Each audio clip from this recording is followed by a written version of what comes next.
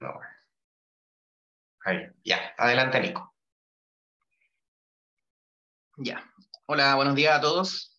Hoy día toca el último tema eh, a presentar de los trastornos de personalidad.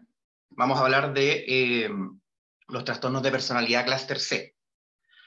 ¿Ya? Eh, como a modo introductorio, los trastornos de personalidad pertenecientes al clúster C se caracterizan a modo general como pensamientos o comportamientos de ansiedad o temor, ¿ya? Y esto incluye al trastorno de personalidad evitativo, dependiente y obsesivo compulsivo.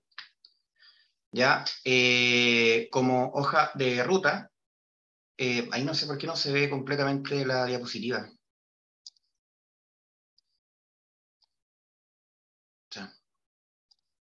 Ah, espero que no me pase la siguiente diapositiva. Ya, como hoja de ruta, eh, los trastornos de personalidad, vamos a hablar del trastorno de personalidad obsesivo, compulsivo, irritativo, dependiente, vamos a hablar de las generalidades, el estilo versus trastorno, los eventos desencadenantes, los criterios diagnósticos, una descripción prototípica y la conceptualización desde el punto de vista psicodinámico, eh, biosocial, cognitivo, conductual, interpersonal integrativo. Vamos a ver también la evaluación del paciente en la entrevista y algunas aproximaciones terapéuticas eh, y de intervención. Ya vamos a partir con el trastorno de personalidad obsesivo-compulsivo. Y, a modo general, a menudo estos pacientes se presentan como inhibidos, obstinados, perfeccionistas, críticos, eh, demasiado escrupulosos, rígidos, ansiosos y tienden a evitar la intimidad. Tiene una prevalencia en la población general, ya de un 2,1% a un 7,9%, y en entornos clínicos, con una prevalencia muy variable, de un 2,8 a un 34%. ¿Ya? Vamos a hablar el estilo versus el trastorno, ¿ya? entendiendo que esto abarca como un continuo desde lo saludable a lo patológico como a modo dimensional. ¿ya? Vamos a hablar primero del el estilo. Estos pacientes se caracterizan por deseos de completar tareas y proyectos sin fallas, ni errores, ¿ya? Se enorgullecen de hacer bien todos los trabajos o tareas. Con respecto al trastorno, eh, es un perfeccionismo, pero que interfiere con la realización de las tareas, ¿ya? Una preocupación por detalles hasta el punto eh, de perder el objetivo principal de la actividad, ¿ya? Eh, voy a ir zigzagueando entre estilo y, trastorno, ¿ya? El estilo también, por ejemplo, tienden a querer que las cosas se hagan correctamente de una manera específica, pero tienen cierta tolerancia con las cosas que se hacen, eh, con respecto al trastorno, hay una insistencia irracional en que los demás hagan las cosas exactamente como quieren, o no delegan las tareas con la convicción de que otros no lo harán correctamente. Eh, el estilo, por ejemplo, dedicados al trabajo y trabajando como con un importante esfuerzo. Y en el trastorno es una dedicación excesiva al trabajo y la productividad con eh, exclusión de actividades de ocio, con exclusión de actividades como, por ejemplo, con amistades, ¿ya? Que este, este, exceso de trabajo en el fondo no está justificado por una necesidad económica. ¿Ya? Con respecto al estilo, consideran alternativas y eh, consecuencias de sus decisiones. Y en el trastorno estos pacientes son indecisos, ¿ya? Evita o pospone tomar decisiones, ¿ya? Pero no por una necesidad de consejo o tranquilidad de los demás como podría ser en otros trastornos de personalidad, ¿ya? Con respecto al estilo, tienden a tener eh, una importante moral eh, con deseos de hacer lo correcto, ¿ya? Pero en el trastorno son inflexibles en cuestiones de moralidad, ética eh, o valores, ¿ya? Son muy rígidos con respecto a eso.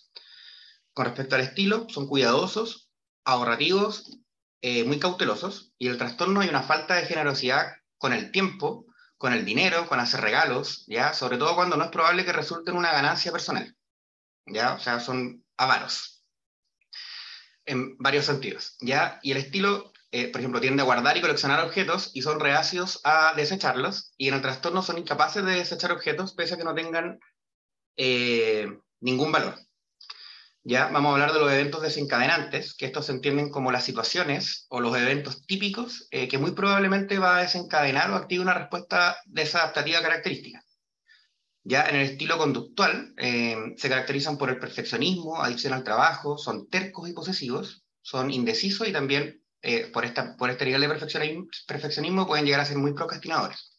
¿ya? En el estilo interpersonal, eh, estos pacientes son muy conscientes del rango social y el estatus, ¿ya? y hacen marcada diferencia en el trato, por ejemplo, con los superiores y eh, con los subordinados y compañeros, llegando a ser muy críticos con, con, los compañeros o con los subordinados. ¿ya?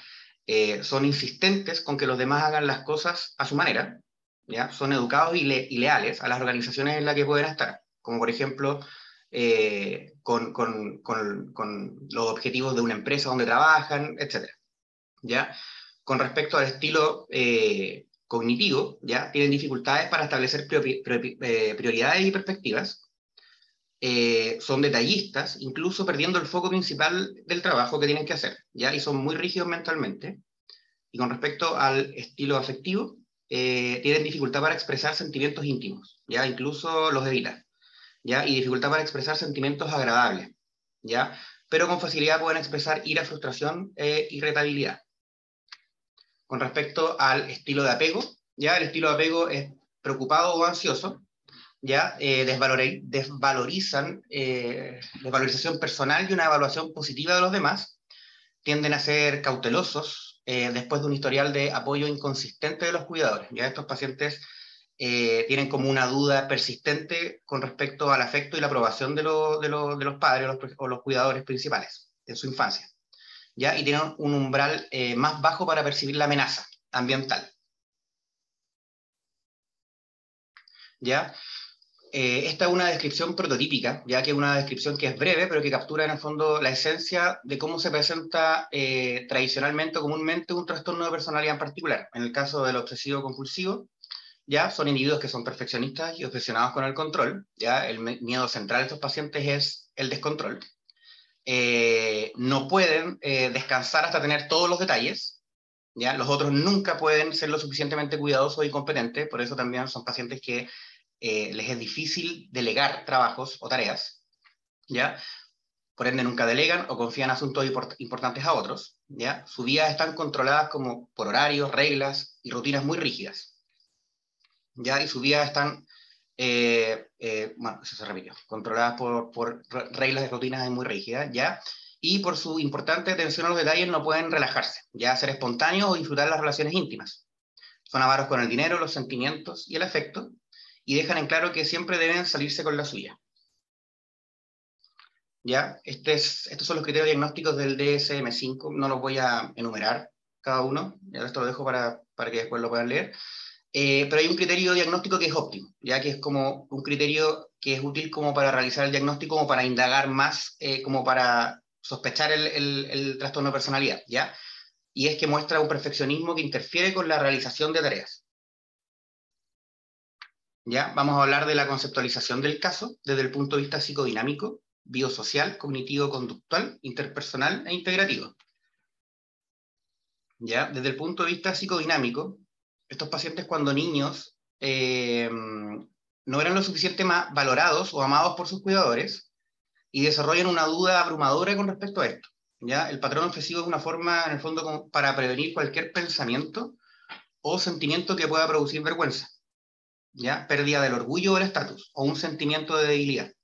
Ya tienen una necesidad imperiosa de controlar el mundo interior y exterior y requieren que lleven una vida excesivamente estructurada y manejable, ¿ya? Y para mantener la fantasía de la perfección, nunca deben cometer un error ni admitir deficiencias, ¿ya? Su tendencia a procrastinar está relacionada con su tendencia a dudar, son muy ambivalentes, eh, lo que les permite mantener la seguridad, pero a costa de la productividad y los sentimientos positivos. ¿ya? Eh, consideran que la ira y la dependencia son conscientemente inaceptables, ¿ya? y por lo tanto se defienden de estos sentimientos como defensas como la formación reactiva que en el fondo es la capacidad de convertir una emoción o una pulsación en su polo opuesto, ya con tal de convertirlo en algo que sea menos amenazante para ellos. ¿Ya? Y también tienen otro mecanismo de defensa clásico que es el, aislamiento eh, del afecto, ¿ya? que en el fondo es aislar completamente el afecto de lo cognitivo. ¿ya? Estos pacientes suelen preocuparse más de los problemas que tienen en vez de eh, enfocarse como en el sufrimiento que estos problemas les generan.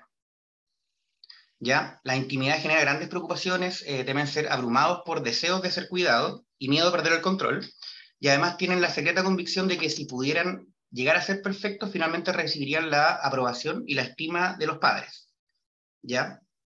Y eh, con cogniciones caracterizadas por preocupación excesiva por los detalles, falta de espontaneidad y pensamiento rumiante. Desde el punto de vista eh, biosocial, ¿ya? Eh, bueno, hasta la fecha no hay evidencia de que los factores predisponentes biológicos sean la base de este trastorno de personalidad, Sin embargo, las observaciones clínicas sugieren que muchos de estos pacientes muestran un temperamento anedónico, ¿ya? y tienden a ser los primogénitos de sus familias.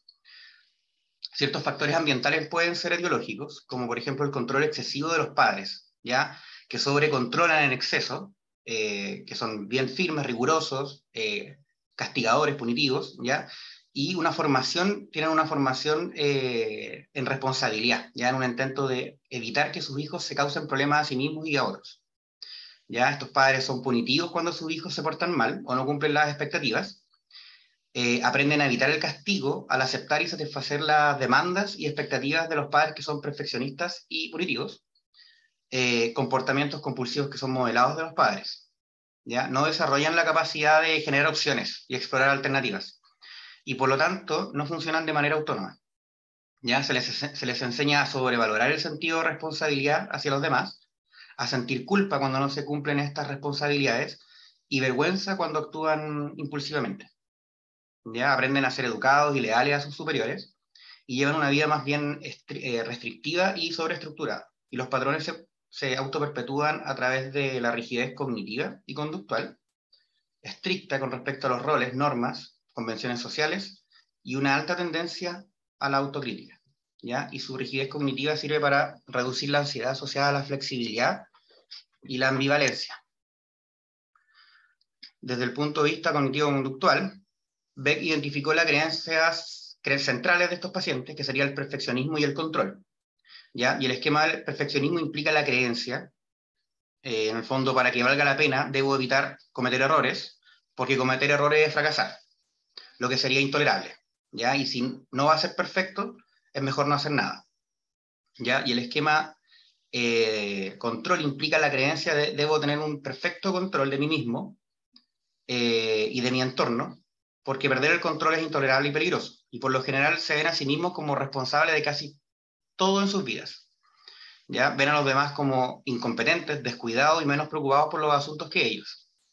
¿Ya? Y sus creencias incluyen la necesidad de reglas, regulaciones para poder sobrevivir.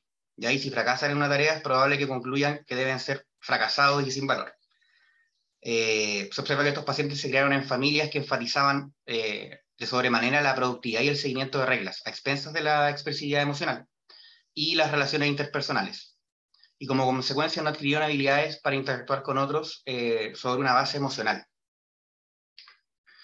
Desde el punto de vista interpersonal, ya estos individuos probablemente se crearon en un entorno de una coerción implacable, ya para actuar correctamente y seguir las reglas, sin importar el costo personal. Como consecuencia tienen una devoción desequilibrada a la perfección de sí mismos. Eh, estos padres generalmente tenían una expectativa extremadamente alta de autocontrol y perfección de estos, de estos pacientes. Y, eh, y no solo castigaban a sus hijos por no ser perfectos, sino que además les daban poca o ninguna recompensa en el fondo por, por los éxitos que podían tener con poca calidez en los hogares, demostraciones del afecto no fueron modeladas y la expresión de los sentimientos se consideraba peligrosa. ¿Ya? Y estos individuos tienen miedo a cometer errores, y en la búsqueda del orden, en el fondo hay una culpa y la necesidad del control. Y esta postura se sustenta en una excesiva autodisciplina y autocrítica. Y desde el punto de vista integrativo, eh, considerando el aspecto biológico, eh, psicológico y social, biológicamente es probable que estos pacientes tuviesen un temperamento anedónico cuando eran niños y psicológicamente se ven a sí mismos como los responsables si algo sale mal, así que tengo que ser confiable, competente. ¿ya? Y ven al mundo eh, como la vida es impredecible, por lo tanto necesito tener el control, eh, ser correcto y apropiado en todo momento.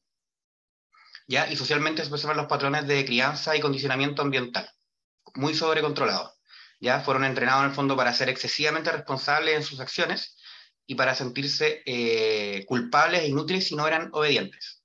¿ya? Y este patrón se perpetúa con las expectativas excesivamente altas, más un comportamiento y creencias severamente rígidas, ya con una tendencia a ser autocríticos y basados en eh, reglas. Con respecto a la evaluación del paciente en la entrevista, ya en el fondo estos pacientes, bueno, la circunstancialidad, el perfeccionismo y la indecisión de estos pacientes hace que sea difícil entrevistarlos, ya la necesidad del control los lleva como a una lucha eh, interminable sobre lo que se dice, las palabras, los problemas y quién está a cargo. Las preguntas abiertas suelen confundirlo y quieren preguntas más enfocadas, pero con interpretaciones restringidas. ¿ya? Y pueden, pueden llegar a llevar eh, cuadernos con su historial médico, con eh, patrón de ejercicio, eh, esperando revisarlo en detalle con el tratante. ¿ya? Insisten en sus problemas y no su sufrimiento como importante. ¿ya? En el fondo estos pacientes está todo muy polarizado al, a lo cognitivo. ¿ya? Y la estrategia terapéutica es colocar en el fondo al paciente en contacto con sus sentimientos, lo que es difícil porque obviamente intentarán negarlo en un comienzo. Y con respecto a las aproximaciones terapéuticas e intervenciones, vamos a hablar de las consideraciones de tratamiento, la psicoterapia individual, terapia de grupo, farmacoterapia y tratamiento combinado integrativo. ¿Ya? Desde las consideraciones generales del tratamiento, eh, los objetivos del tratamiento incluyen una mayor constricción cognitiva y una mayor expresión de los sentimientos. Ya en el fondo como desplazar los problemas hacia el sufrimiento del problema y no los problemas en sí como, como muy, muy racionalizados o intelectualizado, ¿ya? De modo que se puede obtener un equilibrio como más razonable entre los pensamientos y los sentimientos, ¿ya? No, tiene, eh, no tienen resultados de tratamiento a corto plazo y tanto las intervenciones psicodinámicas como cognitivo-conductual parecieran ser efectivas, ¿ya? Con respecto a la psicoterapia individual, eh, implica exponer a estos pacientes, eh, exponer los sentimientos extremos de inseguridad e incertidumbre, ¿ya? Y al comienzo del tratamiento son incapaces de abandonar estos mecanismos de defensa que ya había mencionado. Sin embargo, a medida que crece su, autoestima y conciencia de sus fortalezas, asumen más riesgo de abandonar sus patrones, sus patrones bien muy rígidos. ¿ya? Y el objetivo es poder pasar, en el fondo, de expectativas imposibles para ellos mismos, eh, con esta fantasía de lograr ser perfectos, en el fondo, para poder lograr eh, el aprecio de los, de los padres, de los cuidadores, eh, para llevarlo a expectativas que son más realistas y más alcanzables, ¿ya? Para poder llegar a aprender, en el fondo, a renunciar a sus patrones rígidos e inflexibles de control. Y el terapeuta debe eh, centrarse en los sentimientos reales y su expresión y limitar una discusión intelectual de los efectos. ¿ya? Y debido a la necesidad de perfección de estos pacientes, tienden a calificar y cuantificar sus descripciones, lo que puede ser confuso eh, durante la terapia. ¿ya? Y la técnica para hacer frente a la indecisión de estos pacientes es la clarificación y la interpretación de su necesidad, en el fondo, de, tener como absolutos y certezas. ¿Ya? Y un objetivo también es la modificación del super yo para poder aceptar sus deseos de expresar sentimientos como la ira, lujuria y la dependencia, y deben eh, integrarse y no repudiarse. Ya en el fondo estos pacientes tienen como introyectado esta figura paterna eh, muy rígida, muy punitiva.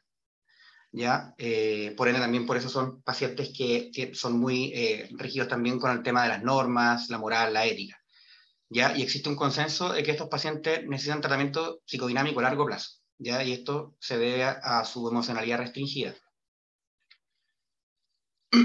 con respecto a la psicoterapia grupal, eh, debido a que una de las principales deficiencias de estos pacientes es la incapacidad de compartir con los demás sentimientos positivos, y espontaneidad, el tratamiento grupal tiene la ventaja para estos pacientes, tiene ventaja para estos pacientes, pero no obstante hay una desventaja en el fondo por la tendencia a la competitividad y el control de las situaciones. Ya eh, pueden dominar fácilmente a un grupo, ya con sus patrones de habla excesivo, ya, y, eh, pero en estas terapias de grupo, estos pacientes pueden encontrar una atmósfera más afectiva, lo que sería dificultoso en un comienzo, pero posteriormente beneficioso, ya, y la terapia de grupo impulsa a estos pacientes a tener problemas en lugar de simplemente hablar de ellos. ¿ya? Y el proceso de tratamiento implica seis objetivos, que en el fondo es modificar el estilo cognitivo, eh, aumentar la toma de decisiones, flexibilizar el super aumentar la comodidad con la expresión emocional, eh, resolver problemas de control y modificar el estilo interpersonal. Y con respecto al tratamiento combinado, integrativo, la, decisión de elegir una modalidad, una modalidad individual, grupal una combinación, el fondo se basa en la gravedad del trastorno ¿ya? y el objetivo particular del tratamiento. Eh, cuando el, aislamiento del afecto y el perfeccionismo se mantienen en un patrón de habla muy divagador, eh, puede ser útil la psicoterapia grupal. ¿ya? Y cuando la indecisión es un problema importante, puede incluirse la psicoterapia individual, el juego de roles, métodos conductuales. Y cuanto más grave sea el trastorno, más necesidad de un tratamiento eh, multimodal. Y con respecto a la farmacoterapia, bueno, no hay fármacos para tratar este trastorno de personalidad específico, ¿ya? Solo para tratar en fondo comorbilidades y el uso de fármacos como siempre como un uso complementario eh, en la psicoterapia. Eso con respecto al trastorno de personalidad obsesivo-compulsivo. Ahora con respecto al trastorno de personalidad evitativo, como a modo de generalidades, ya estos pacientes tienden a ser tímidos, solitarios, hipersensibles y con baja autoestima, ¿ya? Eh, y aunque están desesperados por la participación interpersonal, evitan el contacto con otras personas eh, debido a su temor a la desaprobación social y la sensibilidad al rechazo. Ya tiene una prevalencia general de un 2,4% y en entorno clínico también una prevalencia bastante variable, de un 5.1 un 55% según algunos autores. Vamos a hablar del estilo versus el trastorno. Ya en el estilo, estos pacientes, eh, estos individuos son cómodos con el hábito, de la rutina, y prefieren lo conocido y en el trastorno exageran los posibles riesgos que implica hacer algo ordinario pero fuera de la rutina habitual. Ya el estilo, por ejemplo, la cercanía con familiares, tienen cercanía con familiares y algunos amigos y tienden a ser hogareños. Y en el trastorno no tiene amigos cercanos o confidentes, o solo puede ser uno, pero finalmente son parientes de primer grado. Ya eviten actividades que impliquen eh, un contacto interpersonal significativo. En el estilo son sensibles y preocupados por lo que otros piensan de ellos, y en el trastorno, por ejemplo, no están dispuestos a involucrarse con otros a menos que esté seguro eh, de que va a ser querido o va a ser aceptado. ¿Ya? En el estilo, eh, son muy discretos en el trato con los demás y en el trastorno temen a ser avergonzados, por ejemplo, por sonrojarse, llorar o por mostrar algún signo de ansiedad frente a las otras personas. ¿Ya? Y en el fondo tienen el temor de que puedan ser rechazados por este motivo.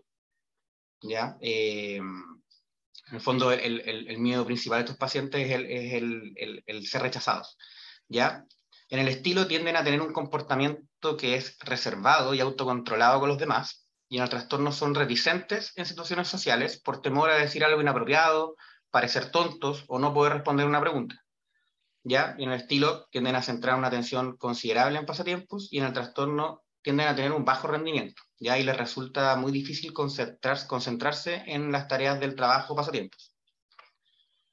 Con respecto a los eventos desencadenantes, el estilo conductual, ya hay una tensión crónica y timidez, eh, comportamiento y habla controlados, eh, y parecen ser muy aprensivos y torpes. Ya también tienden a ser muy autocríticos y de evaluar sus logros. ¿ya?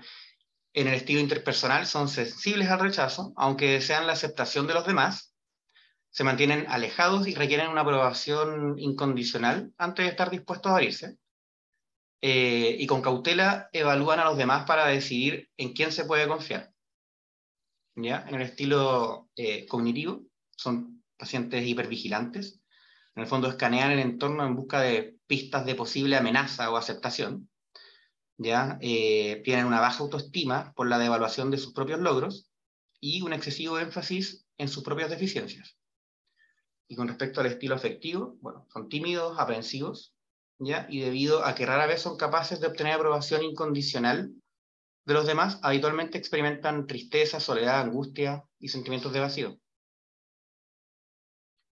Con respecto al estilo de apego, también un estilo de apego que es preocupado, ansioso, y su evitación se basa en el deseo de ser querido y aceptado por los demás. Ya en el fondo estos pacientes evitan el contacto por miedo a la vergüenza, el ser humillado, pero en el fondo ellos anhelan eh, ser queridos, aceptados. ¿ya? Eh, voy a hablar de la descripción prototípica de estos pacientes. En el fondo son individuos que están asustados y son torpes interpersonalmente, son extremadamente sensibles a las críticas y al rechazo. Eh, solo la idea de conocer a alguien nuevo genera miedo de ser humillado o avergonzado, ¿ya? Por ende, es más fácil para ellos evitar cualquier situación nueva, ¿ya? Que pueda amenazar su sentido personal de seguridad. Eh, pero aún así anhelan la conexión con otros eh, en los que han llegado a confiar, ¿ya? Esa sería la descripción prototípica. Aquí están los criterios diagnósticos del DCM5, tampoco los voy a mencionar. Eh, pero considerar el criterio diagnóstico óptimo, que sería evitar actividades ocupacionales que impliquen un contacto interpersonal significativo, ya por temor a la crítica, a la desaprobación o el rechazo. También voy a hablar de la conceptualización del caso, ¿ya? desde el punto de vista eh, psicodinámico, eh, biosocial, cognitivo-conductual, interpersonal e integrativo. Desde el punto de vista psicodinámico, eh, la timidez y la vergüenza y las conductas de, evitación eh, se, se, conceptualizan como defensas, ya contra la humillación y el rechazo. La vergüenza, la vergüenza y el miedo a la exposición del yo eh, a los demás está, está interconectado, ¿ya? y tienden a sentirse avergonzados por la percepción que tienen de sí mismos como débiles, incapaces de competir y como defectuosos física y mentalmente. En el fondo, estas, estas conexiones devaluadoras que tienen de ellos mismos las, las proyectan, ¿ya? Eh, el comportamiento está motivado por la vergüenza y no por no estar a la altura de su ego ideal, ¿ya? Y esta mala autoimagen da como resultado eh, numerosos comportamientos eh, destinados a protegerse, que incluye la interpretación errónea de las reacciones neutrales y positivas, que las ven como negativas, y las experiencias sociales restrictivas, en el fondo para evitar situaciones en las que mm, en las que se pueda revelar sus eh, insuficiencias percibidas. ¿Ya? Desde el punto de vista biosocial, ¿ya? Algunos autores creen que la etiología y su desarrollo eh, hay una constelación eh, interactiva, en el fondo, de factores ambientales biogénicos, ¿ya? la hipervigilancia reflejaría un, sistema nervioso simpático con un umbral de excitación autónomo más bajo, que esto provocaría que, los, que cualquier impulso, que, por muy relevante que pueda ser, interfieran como con, la, con el pensamiento lógico eh, de estos pacientes y que disminuya el control y la dirección de los procesos de pensamiento. ¿Ya? Otros autores mencionan que el rasgo de la timidez es de origen genético constitucional y eh, que requiere experiencias ambientales específicas para desarrollar el trastorno de personalidad evitativo.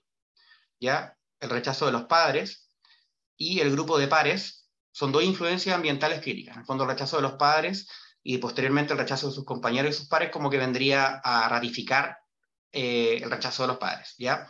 Que erosiona, en el fondo, daña gravemente el sentido de autoestima de tus pacientes y la autocompetencia, ¿ya? Y esto da lugar, en el fondo, a las actitudes autocríticas. Y como resultado, estos individuos restringen sus experiencias sociales, ¿ya? Son hipersensibles al rechazo y se vuelven excesivamente introspectivos. ¿ya? Y al restringir el entorno social, eh, claramente no logran desarrollar competencias sociales y debido a su hipervigilancia y la hipersensibilidad, son propensos a interpretar los desaires menores como, como indicadores de rechazo. ¿ya? Y eh, también como consecuencia de la introspección eh, que llegan a desarrollar, se ven en el fondo obligados a examinar la condición dolorosa que se han creado a sí mismos. ¿ya? Estos pacientes tienen una tendencia o sea, pueden hacer trastornos depresivos secundarios a esto. ¿Ya? Con respecto al eh, cognitivo-conductual, em, estos pacientes eh, tienen miedo de iniciar relaciones y temen responder a los intentos de los demás de relacionarse con ellos, debido a su creencia de que serán rechazados. ¿Ya?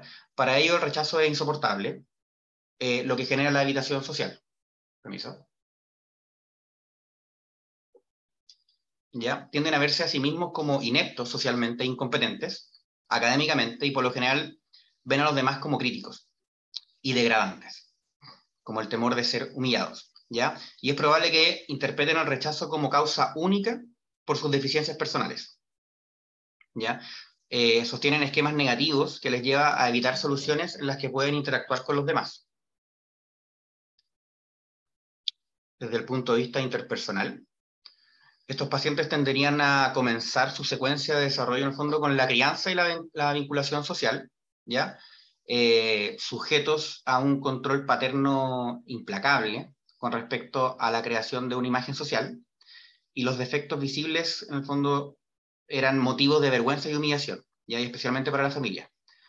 Eh, recibían burlas degradantes por los fracasos, imperfecciones personales o deficiencias, miedo intenso a la humillación, y que está asociado con la exclusión y el rechazo, y como resultado anticipan esto y se aíslan socialmente, ¿ya? Pero paralelamente, en el fondo, buscan y anhelan ser aceptados y queridos. Y pueden llegar a tener mucha intimidad con unos pocos elegidos, ya que pasan en el fondo su estricta prueba de seguridad, que ellos se sientan seguros de que van a ser aceptados y queridos. Desde el punto de vista integrativo, eh, biológicamente eh, con temperamento eh, tímido, ¿ya? Psicológicamente se ven a sí mismos como inadecuados y con miedo al rechazo, pero también anhelan ser aceptados y queridos, como ya había mencionado, y un mecanismo de defensa común en la fantasía sobre cómo podría ser su vida. ¿ya? Y socialmente es probable que eh, hayan experimentado el rechazo o el ridículo de, ridículo de los padres, ¿ya? y que vendría como a reafirmar esto cuando los padres continúan con este patrón de rechazo. Con respecto a la evaluación del paciente en la entrevista, ¿ya? En la entrevista inicial, estos pacientes tienden a responder con monosílabas, eh, también son circunstanciales, son muy cautelosos con lo que dicen, y algunos pueden incluso verse como suspicaces o muy ansiosos. Por lo tanto, debe abordarse con empatía, como para animar al paciente a abrirse, evitar inicialmente la confrontación, porque probablemente lo van a interpretar como una crítica, ¿ya? Y después de sentirse seguros y aceptados por el tratante, el, eh, el carácter de la entrevista puede cambiar drásticamente. Y estos pacientes se sienten aliviados cuando pueden describir sus temores de ser avergonzados y criticados. ¿ya? Y las aproximaciones terapéuticas e intervenciones. Las eh, consideraciones de tratamiento, bueno, el objetivo, los objetivos generales del tratamiento son aumentar su capacidad para tolerar la retroalimentación de los demás y volverse eh, más selectivamente confiados. ¿ya? Y esto significa en el fondo que en lugar de asumir automáticamente que los demás intentan criticarlos, rechazarlos, eh, intentar evaluar más reflexivamente la confiabilidad de los demás. Ya como que estos pacientes asumen que si son rechazados es porque eh, es por esta autoconcepción negativa de ellos. ¿Ya? Y estos pacientes solo cuando aprenden a reconocer el impacto de su patrón, ¿ya? Eh, asumen riesgos en nuevas relaciones y pueden cambiar ya desde el punto de vista de la psicoterapia individual. Bueno, hay pocos estudios formales sobre la eficiencia del tratamiento psicodinámico a largo plazo. Y bueno, hay tanto aspectos expresivos como de apoyo de la psicoterapia dinámica, ya que pueden ser efectivos en estos pacientes. Ya el aspecto de apoyo implica eh, una apreciación empática de la humillación y la vergüenza asociado a la exposición a situaciones sociales eh, y el dolor relacionado con el rechazo, y también implica promover la exposición a las situaciones temidas. Y desde el punto de vista de un aspecto más expresivo, eh, se centra en explorar, en el fondo, las causas subyacentes de la vergüenza en relación con las experiencias de desarrollo pasadas. ¿ya? Y en la medida que estos pacientes se enfrentan a las circunstancias temidas, eh, eh, obviamente el aspecto expresivo se potencia aún más, y estos pacientes tienden a tener una considerable ansiedad de compartir sus pensamientos y sentimientos, cuando reaccionan de forma no verbal, como sonrojarse por algo, en el fondo se les puede pedir a estos pacientes que compartan su vergüenza y lo que imaginan que el tratante podría estar pensando y sintiendo. ¿Ya? De esta forma estos pacientes pueden desarrollar más conciencia eh, de los correlatos del afecto de vergüenza. Y con respecto a la psicoterapia grupal, estos pacientes suelen eh, temer a la terapia de grupo de la misma manera que temen en el fondo a otras situaciones que son nuevas y socialmente más exigentes, ¿ya? Y es por esta misma razón que pueden llegar a ser muy eficaces. Ya la terapia de grupo eh, empática puede ayudar a superar estas ansiedades sociales y desarrollar confianza.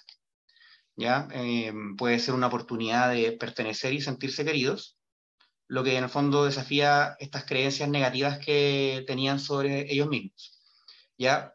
Eh, otros miembros del grupo pueden proporcionar retroalimentación positiva sobre el comportamiento y la autoimagen del paciente evitativo. ¿ya? Y la terapia de grupo eh, centrada en habilidades sociales puede también ser muy efectiva. ¿ya? Inicialmente les cuesta adaptarse, eh, pero al comenzar a participar, pero adaptarse, pero posteriormente pueden comenzar a participar más activamente en el tratamiento. ¿ya? y, y los pacientes que con terapia grupal presentaron una disminución de su eh, reticencia como a sociabilizar, eh, menos interferencias como por la ansiedad de estas situaciones sociales y mayor satisfacción por las mismas actividades sociales. Con respecto al tratamiento combinado integrativo, eh, los pacientes con un funcionamiento más bajo tienden a responder más a modalidades combinadas, ya que incluyen psicoterapia individual, grupal, incluso fármacos, ¿ya? Fármacos que pueden como ayudar a, a manejar los síntomas ansiosos eh, al comienzo de estas terapias, ¿ya? O también eh, pueden ayudar los fármacos, por ejemplo, a la transición, por ejemplo, de, un, de, una psicoterapia individual a la transición a una psicoterapia de grupo. ¿Ya? bueno, no obstante, con respecto a la farmacoterapia, no hay fármacos específicos eh, y se pueden usar fármacos en el fondo para síntomas problemáticos, como ya he mencionado, como la ansiedad. Y también siempre eh, se puede utilizar como complemento de la psicoterapia, en el fondo para tratar comorbilidades, ya que estos pacientes suelen tener una comorbilidad muy frecuente es el trastorno de ansiedad social. Ahora voy a hablar de el trastorno de personalidad dependiente. ¿Ya? Eh, a modo general, estos individuos suelen ser excesivamente pasivos, inseguros, eh, abnegados o sacrificados como para hacer cosas por los otros, poco asertivos, ¿ya? y que se vuelven excesivamente dependientes de una o más personas como para recibir orientación y apoyo. Una prevalencia general de un, entre un, 0,4 49% y un 0,6%, y en entornos clínicos también una variación, según algunos autores, muy amplia, de 1,4 a un 47%. Ya, vamos a hablar de las comparaciones entre el estilo y el trastorno. Ya, el estilo, por ejemplo, estos pacientes cuando toman decisiones, se sienten cómodos buscando las opiniones y los consejos de los demás, eh, pero finalmente toman sus propias decisiones. A diferencia del trastorno, en el fondo que son incapaces de tomar decisiones cotidianas, por muy sencillas que sean, o rutinarias que sean, sin una cantidad excesiva de consejos y garantías de los demás. En el estilo se promueve, eh, en el fondo, una cuidadosa, una cuidadosa como armonía con las personas importantes en su vida. Suelen ser agradables, discretos. Y en el trastorno, en el fondo, están de acuerdo con las personas, incluso cuando creen que están equivocados. Ya, en el fondo, por temor a ser rechazados ya en el estilo prefieren el papel de miembro del equipo, no como líder, y pueden iniciar y completar las tareas por su cuenta. Y en el trastorno tienen, bueno, considerables dificultades para iniciar proyectos o hacer cosas por su cuenta. Ya en el estilo son buenos para complacer, complacer a los demás, y, pero ocasionalmente pueden hacer cosas incómodas por personas importantes en su vida. A diferencia del trastorno, que estos pacientes, como para mantener esta armonía con las personas importantes que los aconsejan, se ofrecen como voluntarios para hacer cosas que pueden ser muy desagradables para ellos, solamente para agradar a esas personas. ¿Ya? Eh, en el estilo tienden a preferir la compañía de una o más personas que estar solos, y en el trastorno estos pacientes se sienten muy incómodos eh, cuando están solos y hacen todo lo posible para evitar, estarlo. ¿Ya? Eh, en el estilo tienden a estar fuertemente comprometidos con las relaciones y en el trastorno, en el fondo, es un compromiso que va más allá, que pueden llegar a quedar devastados cuando terminan las relaciones cercanas, eh, y con frecuencia preocupados por el temor de ser abandonados. Respecto a los eventos desencadenantes, el estilo conductual eh, se caracteriza por la docilidad, la pasividad y la falta de afectividad. el estilo interpersonal tiende a ser, tienden a ser muy complacientes, eh, abnegados, apegados, y requieren constantemente la seguridad de los demás, ya que conduce eh, a una demanda sutil de que los demás asuman responsabilidades en las áreas importantes de su vida. ¿Ya? Del estilo cognitivo se caracteriza por la sugestionabilidad, a buscar solo el lado bueno de las personas, tienden a minimizar las dificultades eh, con un pensamiento que es poco crítico y poco perceptivo. ¿ya? Y del estilo afectivo se, se caracterizan por la inseguridad y la ansiedad, eh, con carencias de confianza en sí mismos. ¿Ya? Eh, y el estilo de apego también es preocupado ansioso, con sentimientos de desmerecimiento personal y evaluación positiva de los demás.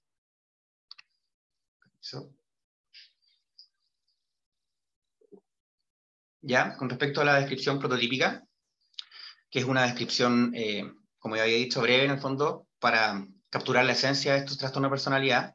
En el fondo estos individuos se sienten inadecuados, débiles y necesitados, les resulta casi imposible tomar sus propias decisiones, eh, no se sienten bien estando solos, eh, su necesidad los hace muy sumisos y serviles, y harán lo que sea eh, para que los demás los cuiden y les den direcciones a sus vidas.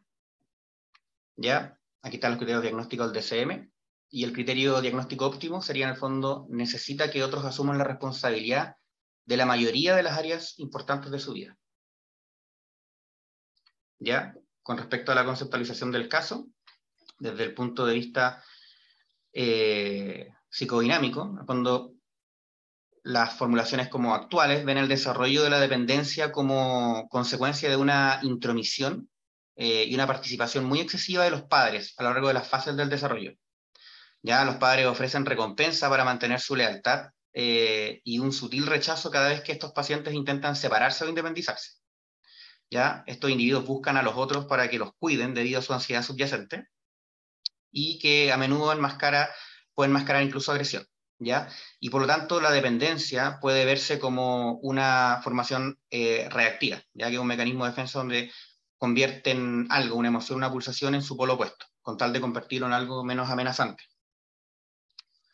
¿Ya? Y desde el punto de vista biosocial, algunos autores creen que estos pacientes eh, tuvieron un temperamento temeroso, eh, retraído o tristes, y en consecuencia provocan un comportamiento excesivamente protector por parte de los padres, ¿ya? y los factores ambientales como la sobreprotección de los padres, la baja expresividad y un alto control, en el fondo interactuarían con estas predisposiciones biológicas, dando como resultado el patrón de la personalidad dependiente.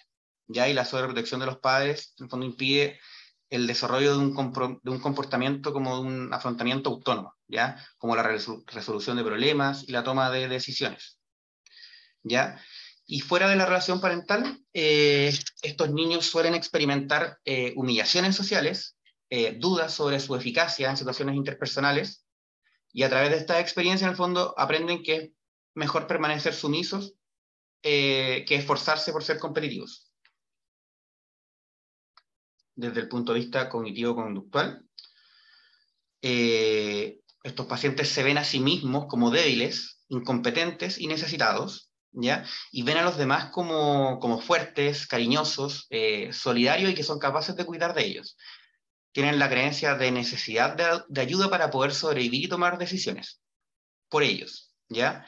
Eh, convencidos de que deben permanecer cerca eh, y no desagradar a estas personas que cuidan de ellos. ¿ya? Y esto reflejaría, en fondo, su patrón como muy, muy subordinado, muy dócil, ¿ya? y de complacer a los demás. Y tienen distorsiones cognitivas con pensamientos dicotómicos, en el fondo, con respecto a la independencia. En el fondo, o son totalmente dependientes y están conectados con otros, o son totalmente eh, independientes, eh, pero están solos. ¿Ya? O sea, dependientes pero conectados con otros, independientes pero solos. ¿Ya? Y eh, patrones conductuales, en el fondo, que se centra en un miedo generalizado a la toma de decisiones. Y desde el punto de vista interpersonal, estos individuos en el fondo experimentaron suficiente cuidado y atención en la infancia temprana, ¿ya? Sin embargo, sus padres no detectaron este nivel de crianza, no destetaron este nivel de crianza en el fondo cuando fue apropiado hacerlo, ¿ya? Eh, y posteriormente desarrollaron un pobre autoconcepto, cuando sin aprender, sin lograr aprender a cuidar de ellos mismos, eh, y deben depender de los demás, ¿ya? Con recursos de afrontamiento que son limitados, y por este mismo motivo del hecho de querer ser cuidados, eh, pueden tolerar el abuso, en el fondo con tal de, que alguien pueda tomar las decisiones por ellos y ser cuidados. Y desde el punto de vista integrativo, eh, biológicamente eh, presentarían un temperamento temeroso, triste, retraído, ¿ya? Psicológicamente tienden a creer que son inadecuados, frágiles, con una visión modesta de sí mismos, y socialmente por factores de crianza familiar donde hubo una sobreprotección de los padres. ¿Ya? Dentro de la evaluación del paciente, en la entrevista, eh, estos pacientes suelen esperar que el tratante eh, o el terapeuta inicie la conversación, ¿ya? Eh, establecer una buena relación no es difícil, y después de cierta ansiedad inicial, pueden comenzar a confiar siempre que se les den consejos y apoyo, ¿ya? Y muestras de empatía. Sin embargo, cuando se intenta explorar, con el fondo, eh, los perjuicios, en los daños como consecuencia de su sumisión, ahí se sienten incómodos y si no reciben empatía, eh, es probable que busquen a otro terapeuta, otro tratante, ya con dificultad para tolerar eh, la confrontación y la interpretación de su dependencia. Ya, y con respecto a las aproximaciones terapéuticas e intervenciones, las consideraciones del tratamiento, bueno, importante considerar que estos pacientes cuando sufren la pérdida de una persona de apoyo, eh, pueden desarrollar trastornos del ánimo, ¿ya? y además por también por sus patrones de dependencia, como a tener este, un poco este rol de enfermo, eh, son especialmente propensos a desarrollar trastornos facticios. ¿ya? Y el objetivo de la psicoterapia en el fondo es aumentar el sentido de independencia eh, o incluso con expectativas como más modestas, como que pudieran tener una dependencia más adaptativa. ¿Ya? Y las estrategias de tratamiento incluyen desafiar en el fondo estas creencias disfuncionales, ya acerca de sentirse poco competentes y aumentar la autosuficiencia. Eh, y entre esto es brindar al paciente en el fondo como directivas y oportunidades como para tomar decisiones, estar solos y responsabilizarse como eh, de su propio bienestar. ¿Ya? Con respecto a la psicoterapia individual, eh, varios informes de casos sugieren resultados positivos eh, con respecto al tratamiento de psicoterapia individual. ¿Ya? Y un propósito central en el fondo de ayudar a estos pacientes a afrontar mejor las separaciones previas. ¿ya?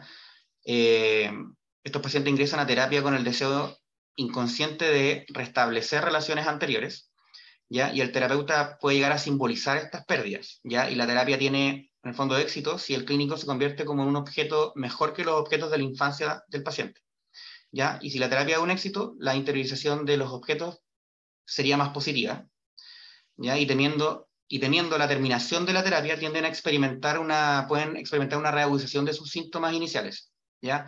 Entonces se, esforzarán por hacer que el terapeuta, en el fondo, eh, se confabule en su evitación de tomar decisiones o afirmarse con la esperanza de continuar su, su dependencia. ¿ya? Y obviamente el terapeuta debe frustrar estos deseos eh, y provocar pensamientos y acciones independientes. ¿ya? Y al transmitir que la ansiedad producida por, por esta frustración es tolerable, productiva, en el fondo, y esto puede alentar al paciente. ¿ya? Eh, se ha propuesto que la psicoterapia dinámica breve se ha recomendado como un tratamiento de elección para estos pacientes. Ya el hecho de que el tratamiento tenga un número limitado de sesiones y se sepa cuándo va a terminar, eh, significa que estos pacientes en el fondo deben confrontar sus ansiedades, así como la fantasía de la crianza ilimitada. ¿Ya? Y con respecto a la psicoterapia grupal, eh, se ha mostrado que el tratamiento grupal tiene éxito en el tratamiento de estos trastornos de personalidad dependiente, y la psicoterapia de grupo proporciona en el fondo un entorno terapéutico para explorar la inadecuación del comportamiento pasivo dependiente. y para experimentar una mayor asertividad.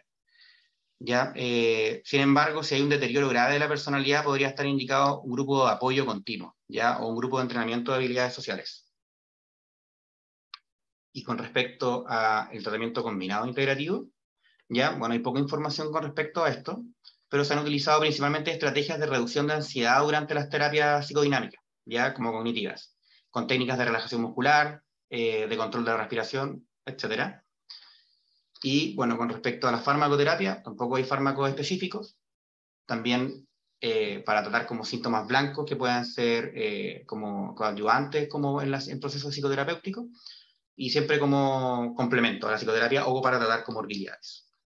Eso, muchas gracias.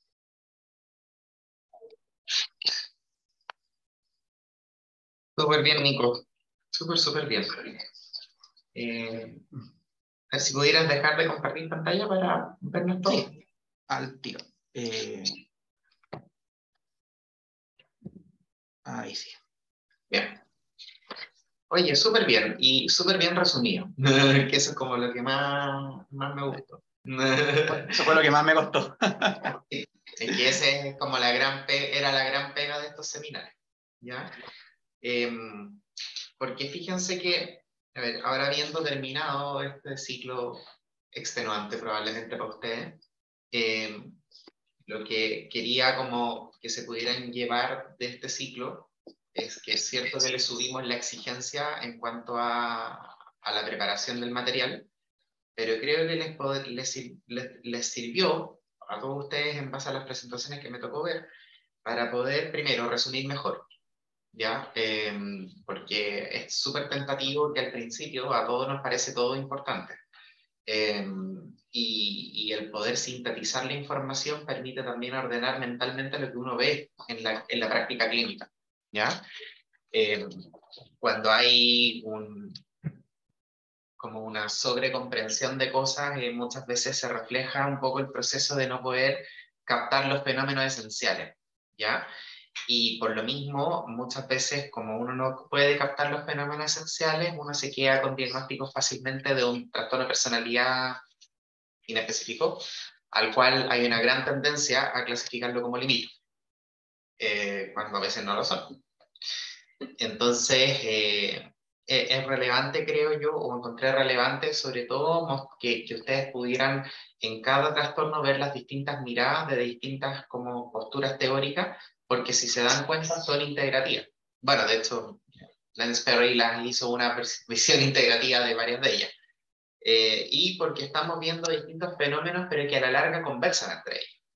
Entonces, eh, una de las cosas que a mí me pareció muy adecuado como de esto es que es esta, esta parte que salía como los criterios óptimos como, y el cuadro prototípico, porque sirven como un marcador, a mi modo de ver, que si están, busquémoslo. ¿Cachai? Em, porque claro, si nos ponemos a, em, eh, en una entrevista, como, como les decía, a buscar solamente los fenotipos disfuncionales, vamos a encontrar fenotipos disfuncionales probablemente similares en varios trastornos de personalidad. Eh, y, que finalmente eh, creo yo que, llevan eventualmente un sobrediagnóstico del trastorno de personalidad limítrofe en personas que tal vez la línea de base, aunque haya descontrol de impulsos, aunque haya lo que sea, pero que el fenómeno de base es otro. Y, y, por lo mismo eso orienta a un tratamiento que pudiese ser distinto. Evidentemente que nosotros no estamos destinados a cambiar la personalidad y que obviamente nosotros lo que tratamos son conductas disfuncionales, evidentemente. Eh, sobre todo el rol del psiquiatra ahí. Pero, pero muchas veces una adecuada derivación y todo eh, a terapias que tal vez tuviesen tan más centralizadas en lo que el paciente necesita, pudiese ser como más enriquecedor tanto para el paciente y conocerse a sí mismo, como para eh, mejorar desde otro punto de vista también la relación. Entonces, em, me parece como, como, como adecuado que, estén estas como opciones, así como los highlights de cada trastorno, porque así nos permite como que, como les digo, pesquisar el signo de alarma para explorarlo. Em, y es relevante también a mi modo de ver que no toda persona que cumpla características, por ejemplo, una personalidad, no sé, cualquiera, evitativa, no necesariamente todas esas personas tienen un trastorno de personalidad evitativa. ¿ya? Em, que es un poco algo que lo hemos ido como reforzando a lo largo de todos los seminarios. ¿ya? Em, y también tiene, tiene otra relevancia que, que, que, es un poco lo que mostraste, que cómo es la relación en la entrevista, qué mm. cosas hay que tener como en consideración en cuanto al vínculo terapéutico, qué cosa espera el paciente de uno, que son cosas súper relevantes, porque de, eso dependen muchas cosas, desde que podamos tener una, como una consulta genuina, eh, que porque a ustedes les va a tocar ver muchas veces pacientes que llegan y te dice que está todo bien para no molestar, ¿cachai? Cuando en realidad no está todo bien o te dicen, no, no, si están, están ok las cosas, porque les cuesta confiar, como por ejemplo en ciertos tipos de trastorno personalidad, o porque eh, no lo vayas a juzgar mal, o para no defraudarte, o para, ¿cierto? Entonces existen distintas cosas que, claro, uno muchas veces se puede equivocar con eso, ¿cachai? Y decir, no, pero si yo lo vi súper bien y después conversando con el psicólogo, y ahí es súper importante la relación como cercana entre psicólogo psiquiatra, eh, te dice, oye, mira, pero están pasando todas estas otras cosas que no te contaron, ¿cachai?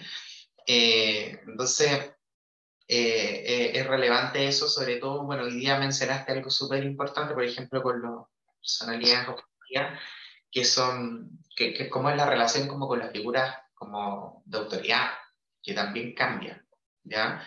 Eh, y hay que tener eso en consideración. No sé si ustedes se habrán dado cuenta, me imagino que sí, en las cortas estadías cuando entrevistan ustedes o cuando entrevistan al staff, que de repente hay pacientes que cambian.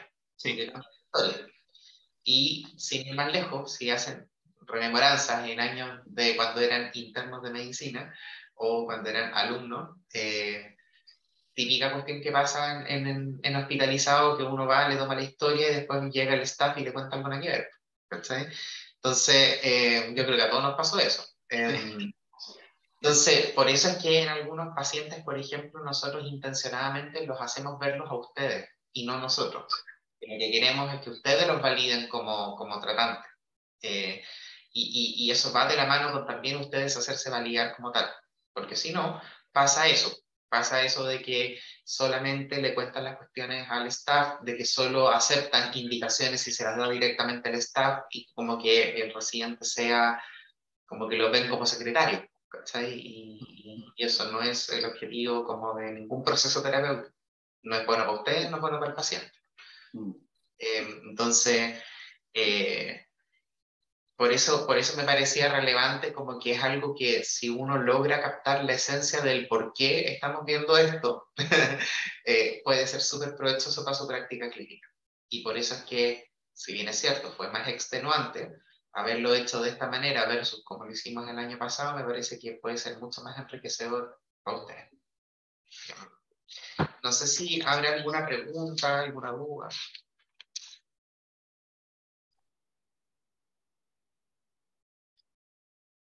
Al Nico o a mí.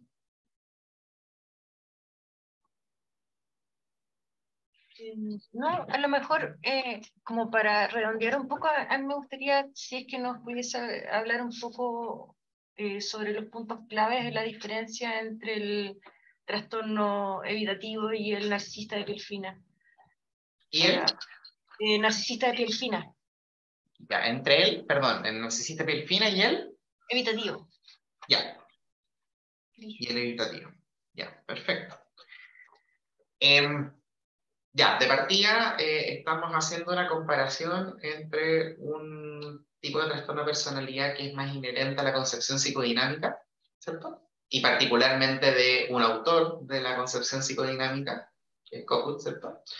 Versus el evitativo, que es algo que, que es una variante como más como categórica, ¿ya?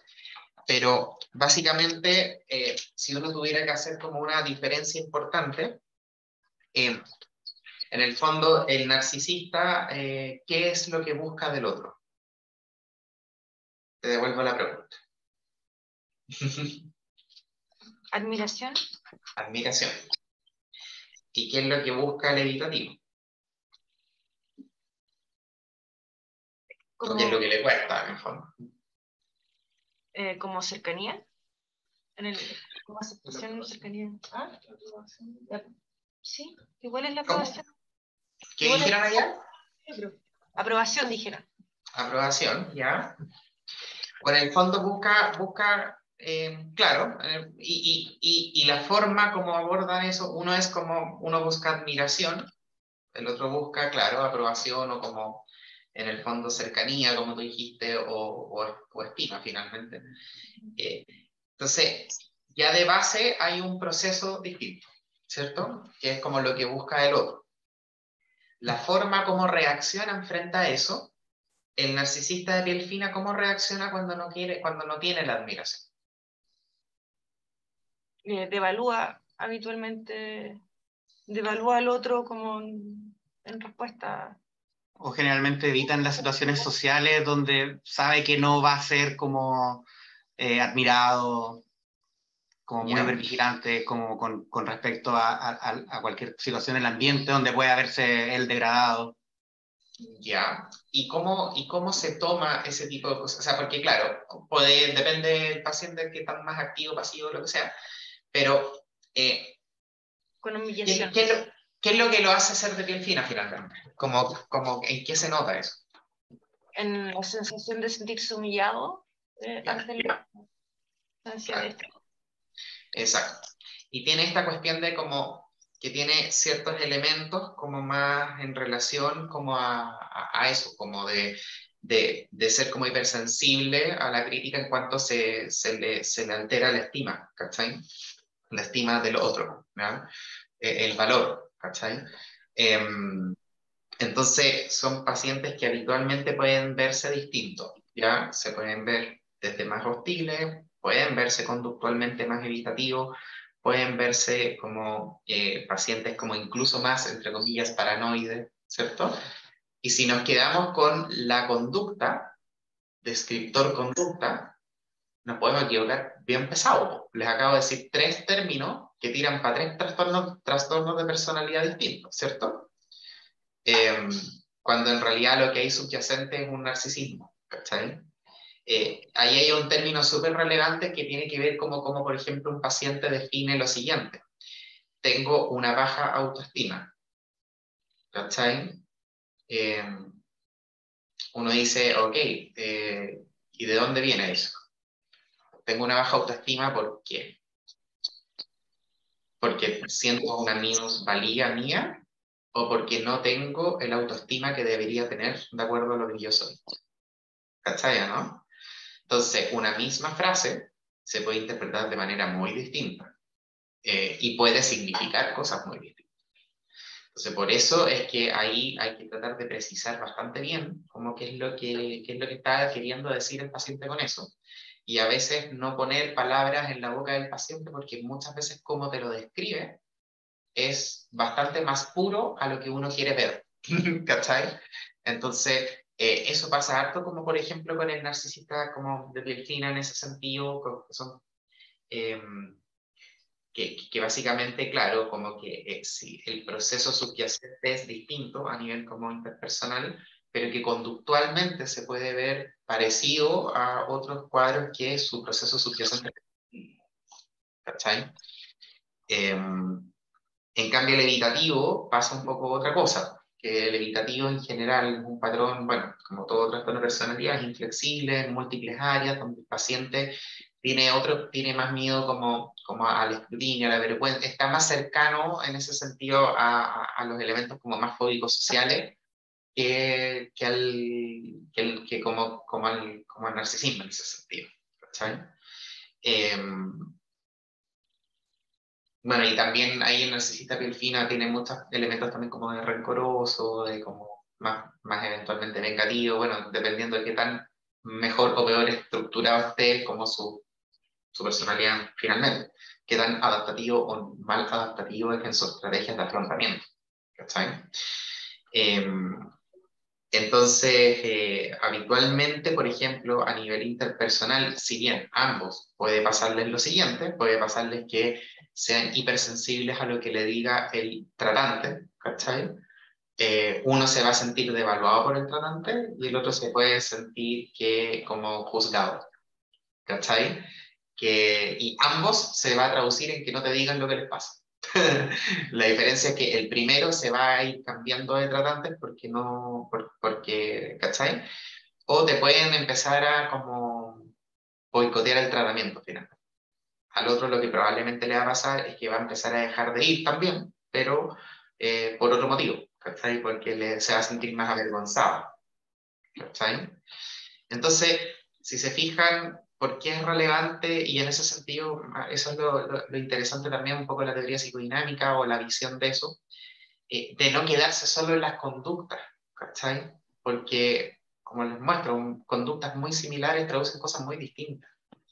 Eh, y creo que eso es uno de los problemas de la clasificación del DCM, que mayoritariamente los criterios están basados en conductas. Em, entonces, eh, o sea, se entiende por qué existe un tremenda, una tremenda comorbilidad, porque finalmente no podéis cortar el queque. Igual uno muchas veces no puede cortar el queque, evidentemente.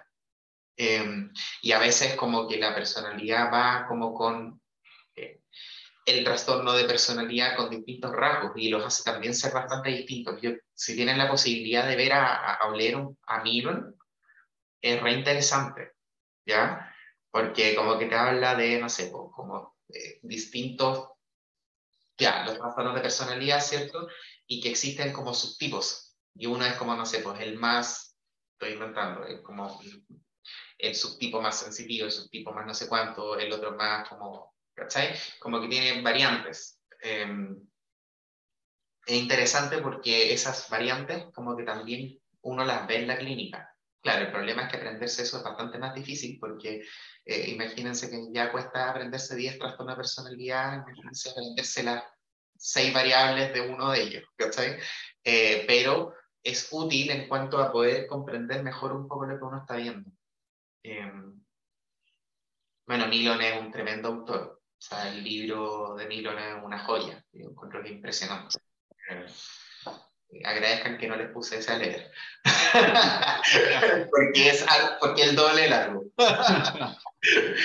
Pero les recomiendo así como para la vida, como para que si, si ustedes les interesa en cierta medida como aprender más de este tema, es un libro que yo recomendaría fuertemente leer.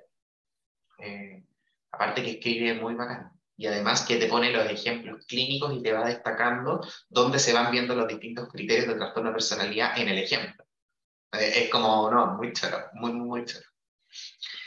Pero obviamente, claro, eso es como probablemente para alguien que le interese más ese tema, probablemente. Pero por lo menos en lo básico, como para nosotros, como eh, creo yo que por lo menos este abordaje que hicimos ahora es bastante más enriquecedor que habernos quedado solamente con el abordaje de ser. Eh, porque permite ver este tipo de sutilezas y porque, por ejemplo, permite discutir este tipo de preguntas como hace la Karen.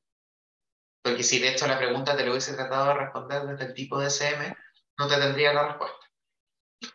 ¿Cachai? Porque no, no está, no existe. ¿Cachai?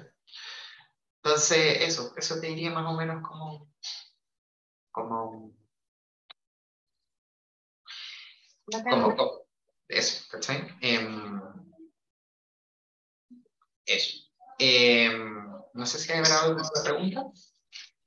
Hola Renato. Hola. Eh, más que una pregunta teórica, quería preguntar o pedirse que me puedes enviar por favor los links de los videos de este ciclo, por favor. Ya, dale, hagámoslo. ¿Lo, vas a subir? Eh, sí. Ya, dale. Muchas gracias. Te lo mandamos, no hay problema. No hay problema.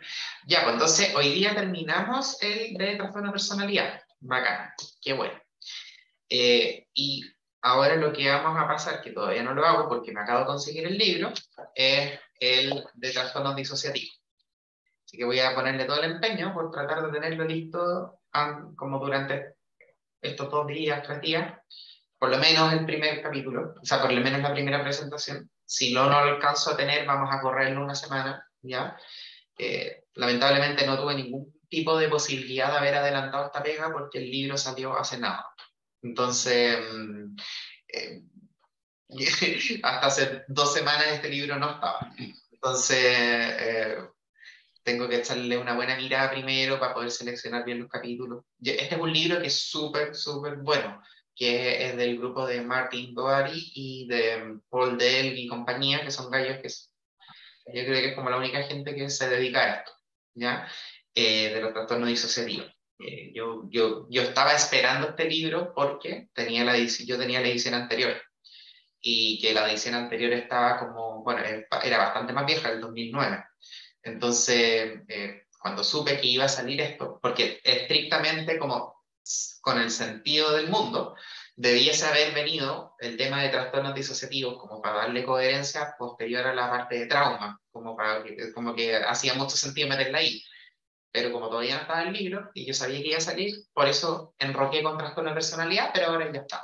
Así que el libro se llama Dissociative Disorders, um, Past, Present and Future, creo que se llama. Um, lo subí al chat del SSMCO. Em, bueno, y se lo voy a subir ahora, es para la bibliografía, así que eh, para que le echemos una miradita. ¿Ya? Ya, pues chiquillos, así que bueno, voy a hacer todo mi esfuerzo por tenerlo de aquí en dos días, eh, pero si no, lo corremos una semana y, le damos. ¿Ya? Una pregunta, eh, la primera presentación de trastorno disociativo, eh, ¿quién la hace? Los... No sé, pues, ordenense entre ustedes. ¿Y nosotros? O sea, no sé, pues, envíenlo entre ustedes quién la parte. Ah, ya, ok, ya. Decían ustedes. Eso, pues chicos, ¿ya? Ya estamos viendo, oigan, y quería felicitar a todos los que les tocó presentar eh, este ciclo porque yo sé que fue duro, pero lo hicieron muy bien y yo sabía que lo iban a hacer bien, así que en el fondo, eh, pero quería recalcárselo para que vean que sí pueden. ¿Ya? ya, estén muy bien, cuídense. Chao, muchas gracias.